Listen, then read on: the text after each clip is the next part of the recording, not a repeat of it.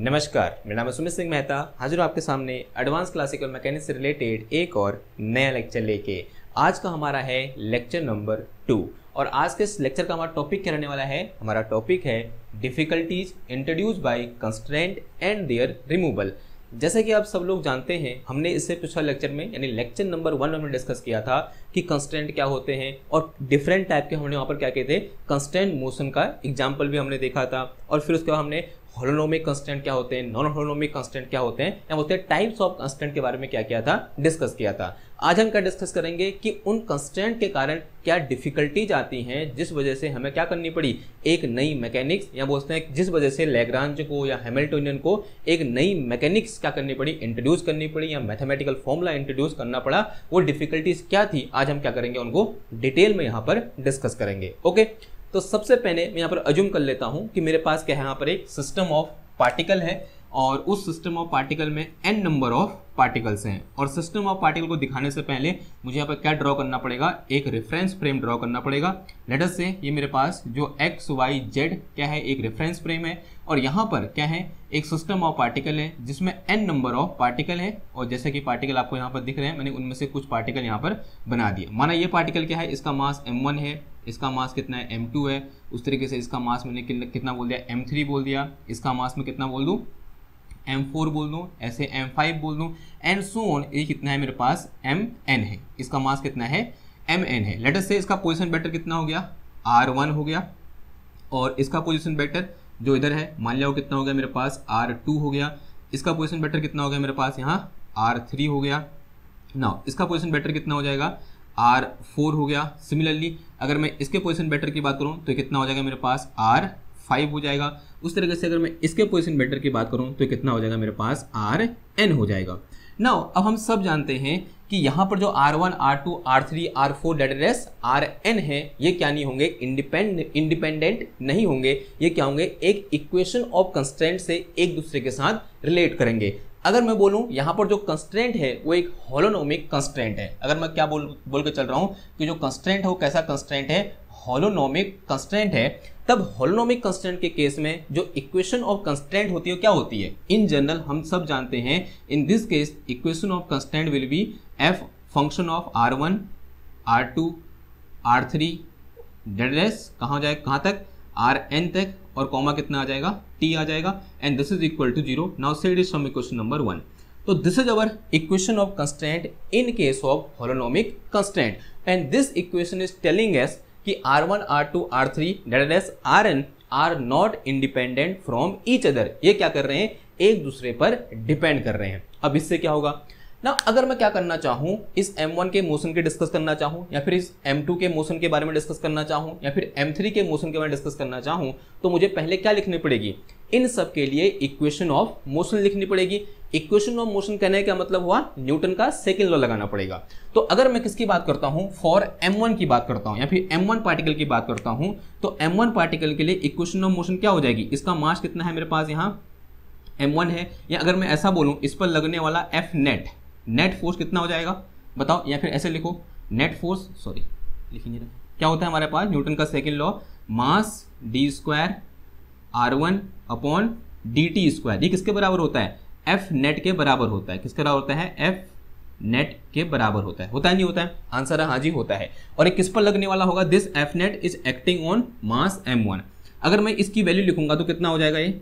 M one and this is D square R one upon D T square this will be equal to now इस M one पर net force कितना लग रहा होगा?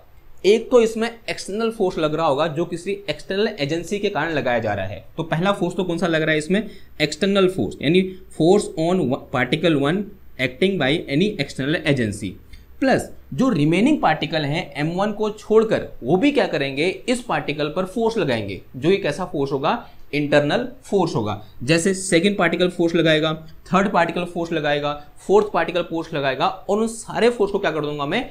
Add कर दूँगा। तो इसको मैं ऐसे लिख सकता हूँ force on particle one due to jth particle फिर उनका क्या आ जाएगा? यहाँ पर समेशन आ जाएगा। ये बात समझ में आ रही है आपको? ये बात समझ में आ रही नहीं आ रही है। देखो, ऐसे लिख सकते हैं इसको कैसे? कि force on particle one due to particle two और फिर ये वेक्टर आएगा। फिर प्लस कितना आ जाएगा? फोर्स ऑन इसको ब्रैकेट के अंदर रखेंगे, ठीक है? Force on particle one due to particle three फिर प्लस एंड सो ऑन कहाँ तक? Plus force on particle one due to nth particle ठीक है? ऐसा हम लिख सकते हैं। ये जो सारे फोर्स हैं, वो कैसे फोर्स हैं? इंटरनल फोर्स हैं। ये क्या है? Force on particle one due to particle two ये क्या है? Force on particle one due to particle three उसके बाद क्या आएगा? Force on particle one due to particle four फिर क्या आएगा? ड्यू टू पार्टिकल फाइव फिर and so on due to particle n इस सबको कंबाइनली में कैसे लिख सकता हूँ? इसको सॉरी ये एम वन है। कितना आ जाएगा ये? एम वन ये आ जाएगा मेरे पास कितना? D square r one upon कितना आ जाएगा? D t square this will be equal to f one e external और वेक्टर प्लस इस सबको कंबाइन लिख सकता हूँ मैं कैसे? Summation of force on particle one due to jth particle और ये फोर्स कौन से फोर्स हैं? इंटरनल फोर्स हैं। और जहाँ पर जो मेरा जे है वो कहाँ से कहाँ लाई कर रहा है? जे इज़ फ्रॉम वन से लेकर कहाँ तक है ये? एन तक है। ये बात समझ में आई? Now said is some equation number one इसे क्या बोल दिया? इक्वेशन नंबर मैंने वन बोल दिया। इसे क्या बोला है? इक्वेशन ए बोला है। वो क्यों बोला है? आगे समझ में आएगा। ओके नाउ ये तो किसके लिए हुआ? इस एम वन पार्टिकल के लिए हुआ। अगर मैं किसकी बात करूँ? एम टू के लिए बात करूँ तो एम टू के लिए क्या हो जाएगा बताओ? इक्वेशन ऑफ़ मोशन तो this will be m two r two या d square r two upon d t square this will be equal to f two e यानी external force acting on particle two और यहाँ क्या आ जाएगा? Summation of all the internal force और acting on particle two यानी f two जे और जहाँ जे कहाँ से कहाँ तक होगा? एन से लेकर सॉरी वन से लेकर एन तक होगा। Said is some equation number two इसे मैंने क्या बोल दिया? एक क्वेश्चन नंबर टू बोल दिया। उस तरीके से मैं पार्टिकल थ्री के लिए देखूँगा, या मास थ्री के लिए देखूँगा तो एम थ्री इंटू कितना आ जाएगा ये? डी स्क्वायर आर थ्री और अपॉन कितना आ जाएगा यहाँ पर? D t square and this is equal to f three e और यहाँ क्या आएगा? वेक्टर प्लस यहाँ क्या आ जाएगा? ये समेशन यानी internal force this is f three j और ये वेक्टर आएगा और यहाँ पर जे कहाँ से, कहाँ तक होगा? वन से लेकर एन तक होगा। इसी तरीके से यहाँ पर कितने नंबर ऑफ़ पार्टिकल हैं? एन नंबर ऑफ़ पार्टिकल हैं। अगर मैं एनथ पार्टिकल के यहाँ पर अब इक्वेशन ऑफ़ मोशन लिखना चाहूँगा तो क्या हो जाएगा बताओ? तो this will be equal to mass of nth particle into del square of uh, position vector of nth particle into dt square. This is equal to force on या फिर nth ने बोल के मैं ith बोल दूँ ठीक है ज़्यादा अच्छा रहेगा because i is from zero to sorry one to n अगर उसको क्या बोल दूँ मैं? आई एथ पार्टिकल ठीक है? एनथ पार्टिकल ने बोल के आई एथ पार्टिकल की अगर बात करूँगा तो क्या हो जाएगा ये? एम आई और यहाँ कितना आ जाएगा? R i and this is f i e यानी force external force on ith particle और प्लस कितना आ जाएगा ये? Summation of all the internal force acting on ith particle due to remaining j part j number of particle तो i coma जे ठीक है? और यहाँ पर जे कहाँ से कहाँ वेरी कर रहा है? वन से लेकर एन तक क्या कर रहा है? वेरी कर रहा है। इसे मैंने क्या बोला है? इक्वेशन नंबर थ्री बोला है। और इसे क्या बोल दो? इक्वेशन नंबर एन बोल दो। इक्वेशन नंबर एन बोल दो। अब इसके, मैंने इसको इक्वेशन नंबर एन क्यों बोला है? समझो जरा। जो यहाँ पर आई है, ये कहाँ से कहाँ वेरी कर रहा है? जो आई है, उसकी वैल्यू क्या हो सकती है? वन हो सकती है टू हो सकती है। जब आई की जगह वन पुट कर दो, कौन सी क्वेश्चन आएगी? पहली वाली। आई की जगह टू पुट कर दो, कौन सी इक्वेशन आएगी? सेकंड आई की जगह थ्री पुट कर दो, कौन सी इक्वेशन आएगी? थर्ड वाली। उसी तरीके से अगर मैं आई की जगह एन पुट करूँगा तो कौन सी इक्वेशन आएगी? एनथ इक्वेशन आएगी। तो हमारे टोटल नंबर ऑफ़ इक्वेशन कितनी होंगी? एन डिफरेंशियल इक्वेशन यहाँ पर मेरे पास निकल के आएँगे। ये बात समझ में आ रही है आपको? यानी यहाँ पर जो टोटल डिफरेंशियल इक्वेशन निकल के आएँगी, इस सिस्टम के लिए, जिसमें एन नंबर ऑफ़ पार्टिकल है, वो कितनी निकल के आएँगी? एन निकल गए, क्योंकि आई की वैल्यू कहाँ से, कहाँ तक है? वन से लेकर एन तक है। कि जरा बात? यानी यहाँ पर टोटल कितनी इक्वेशन है? एन इक्वेशन है। अब आता है इंपॉर्टेंट क्वेश्चन क्वेश्चन ये है कि जो यहाँ पर एन इक्वेशन है, क्या ये इंडिपेंडेंट है या फिर एक दूसरे पर डिपेंड कर रही हैं? जरा सोचो, सोच के बताओ। कैसी सिचुएशन है यहाँ पर? कि ये इंडिपेंडेंट है, जो equation one equation two equation three and so on equation n है, ये एन की एन इक्वेशन इंडिपेंडेंट है या फिर ये एक दूसरे पर डिपेंड कर रही है? बताओ।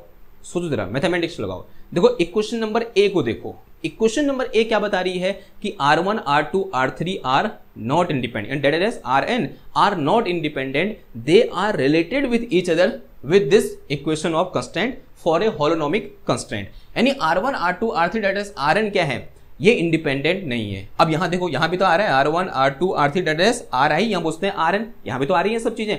इसका मतलब क्या हुआ? कि ये जो equation one equation two equation three और इक्वेशन एन है, या फिर जो एन नंबर ऑफ़ इक्वेशन यहाँ पर हैं, ये एक दूसरे से इंडिपेंडेंट नहीं है।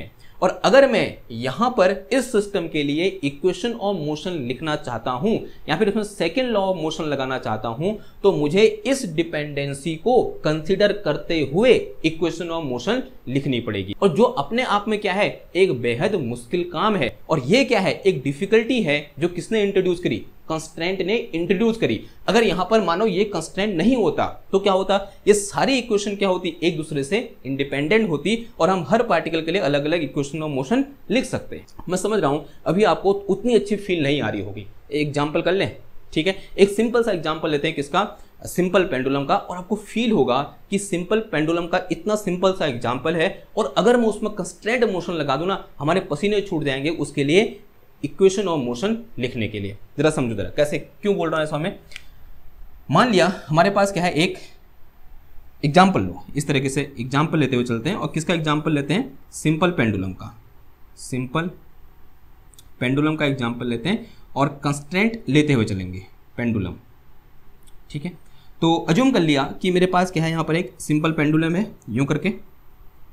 और जो कि, जिसकी लेंथ बोल दी मैंने, कितनी है? एल है। और यहाँ पर मैंने क्या लटका रखा है? एक मास है। और अजूम कर लिया कि ये एक बहुत छोटा सा डिस्प्लेसमेंट प्लेनर पेंडुलम है, ठीक है? कहने का मतलब क्या है कि जो यहाँ पर डिस्प्लेसमेंट होगा फ्रॉम मेन पोजीशन वो क्या होगा? बहुत छोटा होगा। लेकिन मैं आपको दिखाने के लिए उस छोटे से डिस्प्लेसमेंट को एग्जिजरेट करके आपको दिखाऊँगा। यानी वो है तो छोटा, लेकिन मैं बड़ा दिखाऊँगा ताकि मैं आपको समझा सकूँ। तो मान लिया, हमने क्या किया? इसको इसके मेन पोजीशन डिस्प्लेस करके कहाँ पहुँचा दिया? इधर पहुँचा दिया। नाव बॉब कहाँ पर है? इधर पर है। और इसका मास कितना है?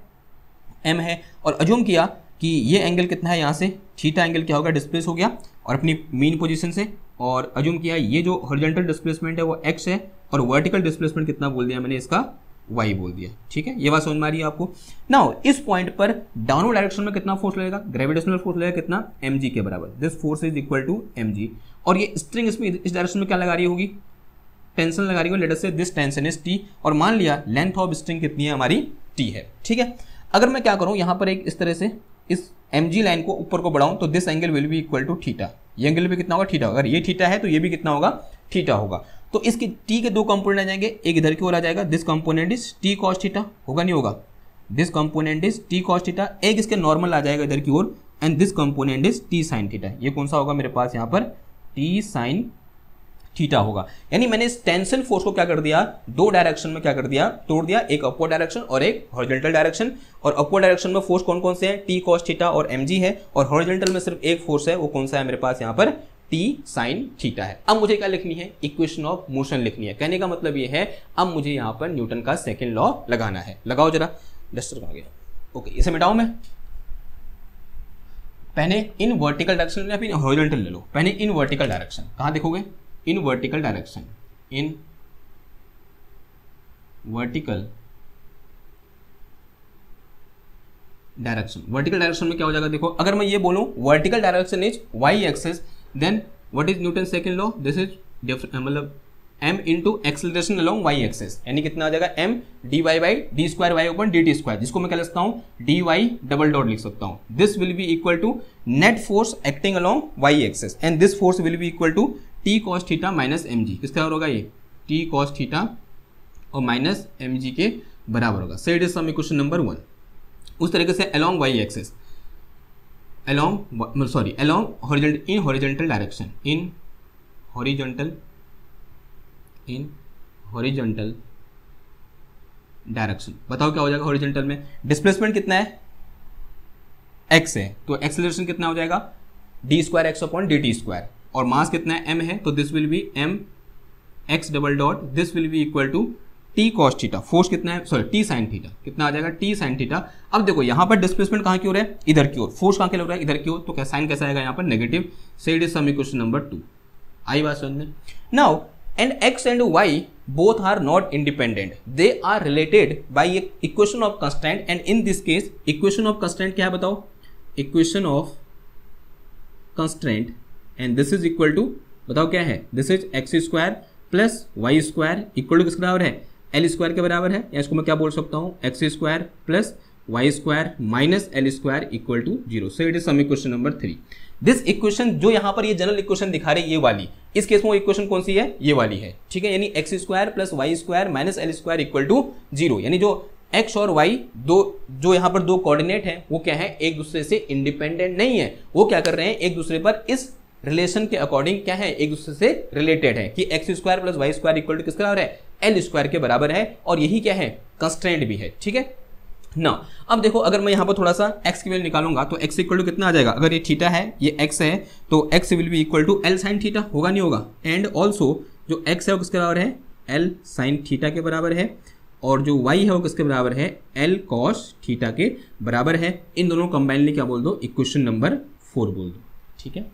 नाउ अब मुझे क्या करना है? इन चारों इक्वेशन को लेकर, इस सिंपल जो मेरे पास क्या है? सिंपल पेंडुलम है, इसके लिए इक्वेशन ऑफ़ मोशन लिखनी है। अब हम सबने क्लास इलेवेंथ में इस सिंपल पेंडुलम के लिए इक्वेशन ऑफ़ मोशन पढ़ी है। और एक बार ध्यान से देखो इसको। मैं पहले इक्वेशन ऑफ़ मोशन लिख रहा हूँ और मैं आपसे फिर कह रहा हूँ कि इस इक्वेशन ऑफ़ मोशन को इनका यूज़ करते हुए अचीव करो। करो एक बार। देखो, जो इक्वेशन ऑफ़ मोशन होती है since we know from a previous knowledge और we can say from class twelfth sorry class eleventh we know that equation of motion equation of motion of simple pendulum क्या होती है? ये होती है मेरे पास क्या?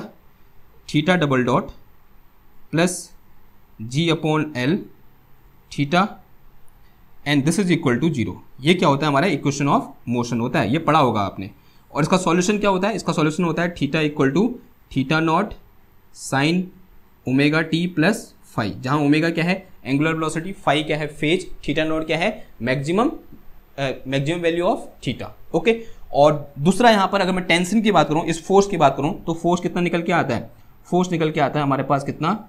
एम एल और इंटू कितना होता है? थीटा डॉट का स्क्वायर और plus this is m g cos theta होता है साइन थीटा होता है। M g sine theta this is equal to m g sine theta and this is tension force acting on string string वाला tension force होता है, वो कुछ इस तरह से क्या होता है?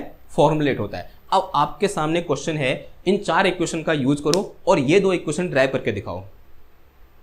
पसीने छूट जाएँगे, होगा ही ये ड्राइव आपसे। बहुत मुश्किल टास्क है। आपको यहाँ पर बहुत बड़े बड़े क्या करने पड़ेंगे? अरेंजमेंट करने पड़ेंगे और लंबी लंबी क्या होगी? कैलकुलेशन होगी। और आपको यहाँ पर वो डिफिकल्टी साफ़ साफ़ देखने को मिल रही है। देखो एक बार। करो एक बार। करने की कोशिश करो। मैंने करने की कोशिश की, मेरे से ये अचीव हुआ ही नहीं। मैं तभी बोल रहा हूँ आपसे करो। ठीक है? कि इन सब का यूज़ करके इनको यहाँ पुट करो और ये जो डिफरेंशियल इक्वेशन है, ये वाली this is equation of motion of simple harmonic sorry simple pendulum और ये क्या है? Tension force acting on this string इनको अचीव करके दिखाओ। इन सब का यूज़ करते हुए। अचीव हो भी जाएगा तो बहुत टाइम लगेगा। टाइम टेकिंग है। तो इसी टाइम टेकिंग मतलब प्रॉब्लम को रिजॉल्व करने के लिए क्या किए गए? एक नई मैकेनिक्स जिसको हम लेग्रांजन मैकेनिक्स भी बोलते हैं। ठीक है? वो क्या करेगी इंट्रोड्यूस की गई। ना फ़िलहाल के लिए, अभी उतने आगे नहीं जा रहे हैं, लेकिन फ़िलहाल के लिए ये समझते हैं कि कैसे हम इसको कैसे रिमूव कर सकते हैं। अब देखो, हमने क्लास ट्वेल्थ में सॉरी क्लास इलेवंथ में इस चीज़ को ड्राइव किया है ना? ये चीज़ हमने ड्राइव की है। कैसे ड्राइव की? हमारे टीचर ने हमसे कहा था, हम किसका यूज़ कर रहे हैं यहाँ पर? टॉर्क अप्रोच का यूज़ कर रहे हैं। आपने सुना होगा एक चीज़, हमने क्या किया? टॉर्क अप्रोच का यूज़ किया और हमने यहाँ पर एक्स हुआ और एक्स और वाई जो दो वेरिएबल थे। उनकी बात की नहीं। एक्स वाई कोऑर्डिनेट की बात की नहीं। हमने सिर्फ़ किसकी बात की थी? वहाँ पर थीटा कोऑर्डिनेट की बात की देखो कैसे मैं समझा रहा हूँ आपको। तो इसका ये जो सॉल्यूशन है ना, इसको हम अभी भी अचीव कर सकते हैं। अभी भी, बिना आगे पढ़े एडवांस क्लासिकल मैकेनिक्स में बिना आगे पढ़े हम इसको क्या कर सकते हैं? इन दो इक्वेशन को अचीव कर सकते हैं। कैसे? क्योंकि हमने पहले क्लास इलेवंथ में पढ़ा हुआ है। देखो क्या पढ़ा हुआ है, पहले वो समझो। इसको मिटाऊं मैं? ये हो गया होगा आई थिंक हमने क्या पढ़ा है क्लास इलेवंथ में? टॉर्क अप्रोच क्या पढ़ा हुआ है? टॉर्क अप्रोच के बारे में पढ़ा हुआ है। यानी किस तरह से टॉर्क के अप्रोच के साथ हम क्या करते हैं? T o r q u torque approach हम ये इक्वेशन ऑफ़ मोशन फाइंड कर सकते हैं। देखो, मान लिया, हमारे पास क्या इस तरह से एक सिंपल पेंडुलम है, यूँ करके, और इसका लेंथ एम एल है, और इसका मास कितना एम है? ये क्या हो गया? अपनी जगह से डिस्प्लेस हुआ और कहाँ पहुँच गया? इधर पहुँच गए ठीक है? इस तरह से। ना अब यहाँ पर नीचे ऊपर की कितना फोर्स लग रहा है? टेंशन टी लग रहा है। माना जो एंगुलर डिस्प्लेसमेंट है वो थीटा है। ना नीचे कितना फोर्स लग रहा है? एमजी फोर्स लग रहा है। ठीक है? और अगर मैं इसको ऐसे पीछे बढ़ाऊँ तो ये यहाँ ये, ये एंगल कितना हो जाएगा? अगर ये थीटा है तो this angle is also theta तो ये यहाँ के कितना फोर्स लगेगा? This will be equal to m g cos theta और यहाँ क्यों कितना फोर्स लगेगा? This will be m g sine theta ये बात समझ में आई आपको? ये एम जी कॉस थीटा ये एम जी थीटा और हमारे जो क्लास इलेवंथ में सर थे उन्होंने ये कहा ही नहीं कि यहाँ को एक्स डिस्प्लेसमेंट हुआ, यहाँ वाई डिस्प्लेसमेंट हुआ। ऐसी उन्होंने कोई बात ही नहीं करी। यानी न्यूटन का लॉ लगाने की बात ही नहीं करी। सीधे बोला कि ये कितना डिस्प्लेस हुआ थीटा एंगल इधर की ओर डिस्प्लेस हुआ और नीचे की ओर एम लग रहा है, इसके दो कंपोनेंट हो जाएँगे एम जी कॉस थीटा और एम जी थीटा ऐसा क्यों किया? और आंसर निकाले के बाद हम डिस्कस करेंगे। लेकिन फ़िलहाल के लिए हमने वहाँ पर जो किया था, एक बार उसे डिस्कस कर लें। अब यहाँ पर देखो, जो एम जी साइन थीटा है तो सॉरी टेंशन है वो किसको कैंसिल कर रहा है? एम जी कॉस्ट है वो कैंसिल कर दे रहा है। मतलब ये बोथ मिलकर T sine T sorry T और M G cos theta centripetal force क्या कर रहे हैं? बिहेव कर रहे हैं। क्योंकि क्या कर रहा है? इस तरह से एंगुलर मोशन कर रहा है या उसे सर्कुलर मोशन करने की कोशिश कर रहा है। तो ये एम जी कॉस्टा और टी दोनों मिलकर किसकी तरह बिहेव करेंगे? सेंट्रीपिटल फोर्स की तरह बिहेव करेंगे। और वहीं दूसरी ओर, जो टी साइन थीटा है वो क्या कर रहा है? इसको ऐसे घुमाने की कोशिश कर रहा है। कर रहा है, नहीं कर रहा है? आंसर है हाँ जी, कर रहा है। अगर इसको घुमाने की कोशिश कर रहा है और जब भी कोई चीज़ घूमती है तो हमारे क्या लगता है? टॉर्क लगता है। तो यहाँ पर क्या लग रहा है? टॉर्क लग रहा है। And this torque we know we is equal to क्या होता है? फोर्स इनटू परपेंडिकुलर डिस्टेंस तो टॉर्क इक्वल टू फोर्स कितना देखो यहाँ पर? This is M G sine theta और perpendicular distance from axis of rotation ये इस पर नॉर्मल होगा। तो ये ये कितना यहाँ से यहाँ तक ये एल के बराबर है या नहीं है? तो कितना आ जाएगा? ये इंटू कितना आ जाएगा? एल आ जाएगा। दूसरा एंगल कहाँ की ओर है? इधर की ओर। फोर्स कहाँ की लग रहा है? इधर की ओर। तो ये कैसा साइन आएगा यहाँ पर? नेगेटिव साइन की डायरेक्शन क्या है? दोनों की अपोजिट है। क्लियर है बात? ओके अगर इतनी बात क्लियर हुई तो यहाँ से मैं इसको क्या लग सकता हूँ? This will be equal to torque equal to क्या होता है? आई इंटू एल्फा के बराबर होता है? होता नहीं होता। जहाँ आई क्या है? मोमेंट ऑफ़ इनेशिया और एल्फा क्या है? Angular acceleration. This is equal to कितना आ जाएगा ये? माइनस का M G sine theta into कितना आ जाएगा? एल आ जाएगा। अब moment of इनेशिया of this mass M about this axis बताओ कितना हो जाएगा? एम एल स्क्वायर कितना होगा?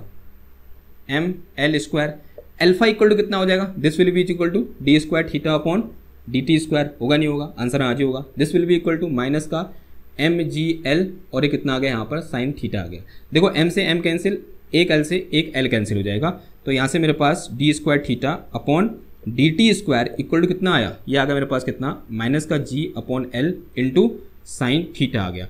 अगर मैं ये बोलूँ कि theta is very very small very very small जो थीटा है वो वेरी वेरी स्मॉल है देन वी नो दैट कि sine theta approx equal to theta जो साइन थीटा है वो लगभग किसके बराबर होगा? थीटा के बराबर होगा।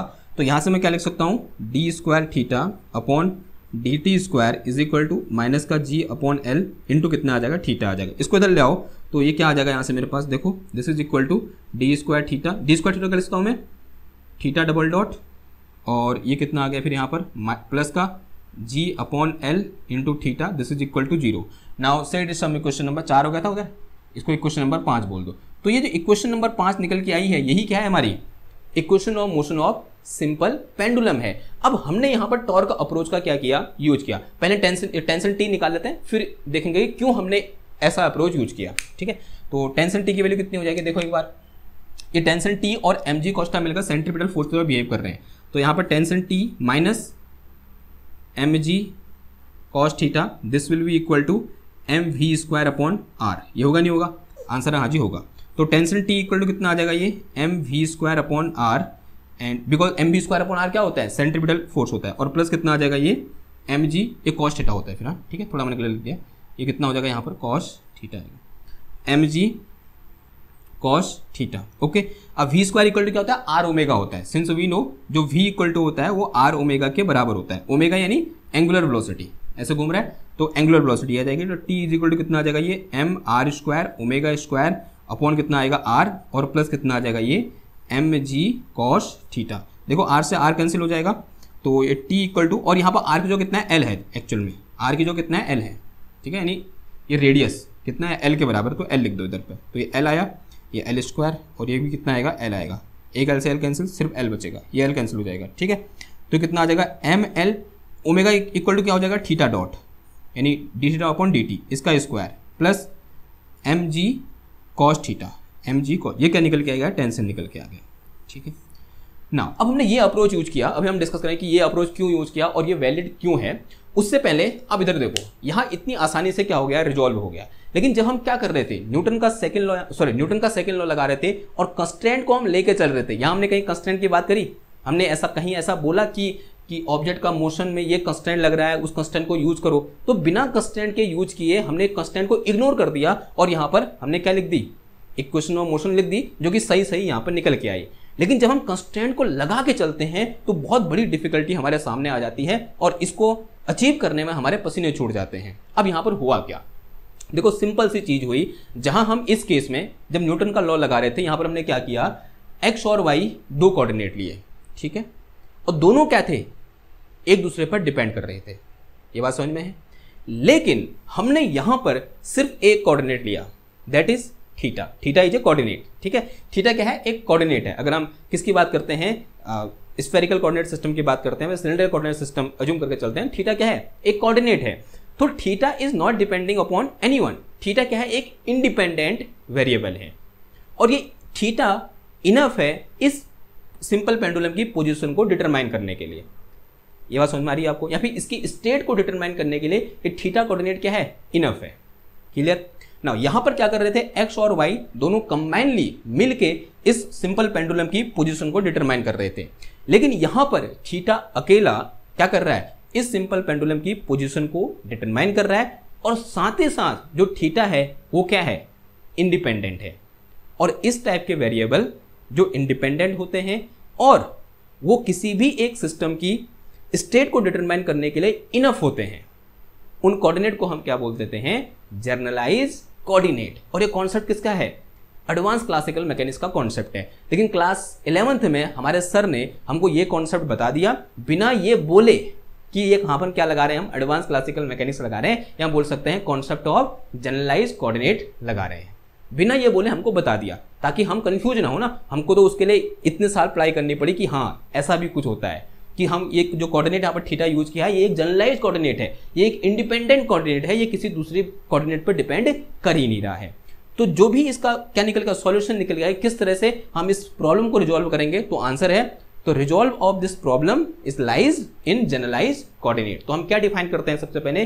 किसी भी एक सिस्टम के लिए जनरलाइज कोऑर्डिनेट डिफाइन करते हैं। और जनरलाइज कोऑर्डिनेट क्या होते हैं? Generalize coordinate are those coordinate या बोल सकते हैं minimum number of coordinate require to specify a position और a state of any object and those all coordinate are independent from each other यानी किसी भी एक सिस्टम के पोजीशन को, या फिर उसके स्टेट को डिटरमाइन करने के लिए जितने नंबर ऑफ़ या मिनिमम जितने नंबर ऑफ़ कोऑर्डिनेट की ज़रूरत होती है, और साथ ही साथ वो सारे के सारे मिनिमम नंबर ऑफ़ कोऑर्डिनेट एक दूसरे से इंडिपेंडेंट होते हैं और उन कोऑर्डिनेट को हम क्या बोल देते हैं? जनरलाइज कोऑर्डिनेट बोल देते हैं। जैसे इस केस में एक्स और वाई एक दूसरे पर डिपेंड कर रहे थे, इस कंस्टेंट की हेल्प से। So it mean X X and Y are coordinate but they are not generalize coordinate लेकिन यहाँ पर जो थीटा है, वो क्या है? एक इंडिपेंडेंट कोऑर्डिनेट है, वो किसी भी चीज़ पर डिपेंड नहीं कर रहा है। वो क्या है? इंडिपेंडेंट कोऑर्डिनेट है, इसलिए हमने इसको क्या बोला? जनरलाइज कोऑर्डिनेट बोला। और हम जनरलाइज कोऑर्डिनेट का कॉन्सेप्ट यूज़ करते हुए क्या कर सकते हैं? एक बड़ी सी प्रॉब्लम को रिजॉल्व कर सकते हैं, कुछ इस तरह से। क्लियर बात? तो अब हम जनरलाइज कोऑर्डिनेट के बारे में और सीखना चाहेंगे तो उसके लिए हमें नया लेक्चर बनाना पड़ेगा। तो जो नेक्स्ट टॉपिक होगा हमारा, वो किस पर होगा? जनरलाइज कोऑर्डिनेट पर ही होगा कि व्हाट आर जनरलाइज कोऑर्डिनेट तो ये कब कब डिस्कस करेंगे हम? कल डिस्कस करेंगे। अब उससे पहले ये कहती पहली डिफिकल्टीज थी। क्या हुआ? कंस्टेंट लगाते ही या फिर इक्वेशन ऑफ़ कंस्टेंट को कंसिडर करते ही जो कैलकुलेशन होती है बहुत डिफ़िकल्ट हो जाती है। जो दूसरा यहाँ पर प्रॉब्लम निकल के तो पहली प्रॉब्लम थी, इसमें लिख भी देना फ़र्स्ट में फ़र्स्ट प्रॉब्लम सेकेंड प्रॉब्लम ये थी कि जब भी हम न्यूटन का सेकेंड लॉ लगाते हैं, हमें क्या पता होना चाहिए? किसी ऑब्जेक्ट पर लगने वाला नेट फोर्स पता होना चाहिए। और बहुत टाइम ऐसा होता है कि हमारे पास सिस्टम तो होता है, लेकिन हमको इनिशियल स्टेट में उस ऑब्जेक्ट पर लगने वाले सारे के सारे फोर्स के बारे में पता ही नहीं होता। अगर सारे के सारे फोर्स के बारे में पता ही नहीं होगा तो हम कैसे वहाँ पर न्यूटन का सेकेंड लॉ लगा पाएँगे? हम वहाँ पर न्यूटन का सेकेंड लॉ नहीं लगा पाएँगे। क्लियर है बात? तो ये क्या ही, क्या थी? सेकेंड प्रॉब्लम थी, जब हम किसकी बात करते हैं? कंस्टेंट मोशन की बात करते हैं। जैसे फॉर एग्जांपल एक अगर हम ये ले लें, एक रस्सी लें, या फिर एक तागा लें, और इस तागे में एक मणि को, मणि यानी, या फिर बीट को, किसी एक दाने को ऐसे मूव कराएँ। तो इनिशियल स्टेज में पता ही नहीं होता हमको कि ये जो रस्सी रस्सी है, इस दाने पर कितना फोर्स लगा रही है। ठीक है? हाँ ऑब्वियसली बात थोड़ी देर मूव करेगा, उसके बाद हम उसकी वेलोसिटी चेंज इन वेलोसिटी को डिटरमाइन करेंगे, उसके बाद हम निकाल देंगे। लेकिन इनिशियल स्टेट में हमको ये पता ही नहीं है कि इस दाने में कितना फोर्स लगा रहा है, लग रहा है, इस रस्सी के कारण। तो ये भी क्या है? एक प्रॉब्लम है, जो किसके कारण इंट्रोड्यूस हुई? कंस्टेंट के कारण क्या हुई? इंट्रोड्यूस हुई। क्लियर और पहले वाले के बारे में आप समझ ही होंगे जो पहला वाला है बहुत इंपॉर्टेंट है। और यहाँ से क्या निकल के आया? कॉन्सेप्ट ऑफ़ जनरलाइज कोऑर्डिनेट निकल के आया, जो हम क्या करेंगे? आने वाले लेक्चर में डिस्कस करेंगे कि जनरलाइज कोऑर्डिनेट क्या होता है ओके तो आई होप आपको आज का लेक्चर समझ में आया होगा। अगर समझ में आया तो लाइक करो शेयर करो सब्सक्राइब करो। मैं मिलता हूँ आपसे नेक्स्ट क्लास में एक और नए टॉपिक के साथ। तो पहले थैंक यू धन्यवाद। Bye bye